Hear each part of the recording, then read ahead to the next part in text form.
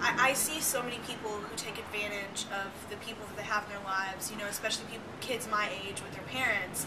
You know, they take for granted that they're always going to be there and they're always going to be able to bail them out. And I've had to go for a while without my parents, so I've realized that there are so many things that I need them for now that I don't have them for. I started Kung Fu when I was 10, and it's been one of the only real consistencies that I've had in my life. Um, it's, been a huge source of a completely separate family from my family.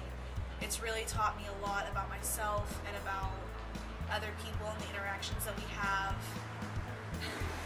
Kung Fu actually means time and effort in Chinese. I think the key to doing anything in life is consistency, and I mean that's been the basis for how I live my entire life.